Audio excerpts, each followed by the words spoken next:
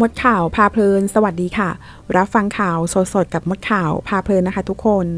หนึ่งในล้าน งูสีฟ้าแปลกตา รู้ข้อมูลสุดช็อกฮือฮาทั้งโซเชียล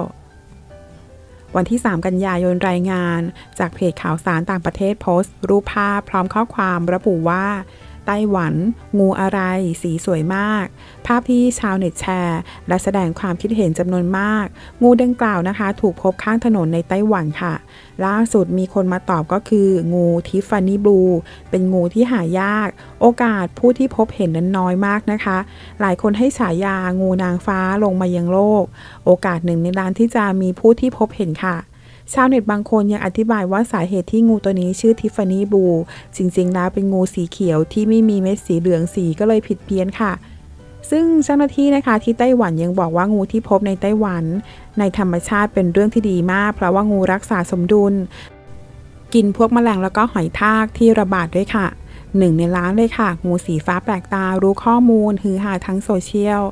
ขอขอบคุณข้อมูลจากสยามนิวค่ะ